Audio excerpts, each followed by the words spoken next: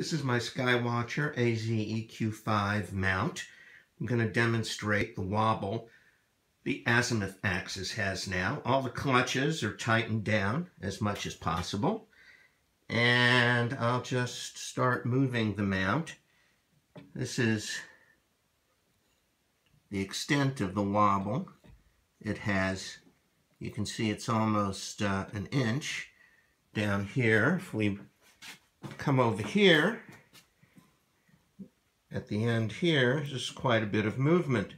So even with all this movement, it still does accurate go-tos and tracking, but any little breeze will cause it to move considerably here.